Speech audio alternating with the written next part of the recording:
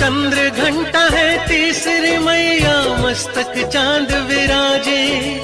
दस भुजाओं वाली मैया वाहन सिर पे साजे।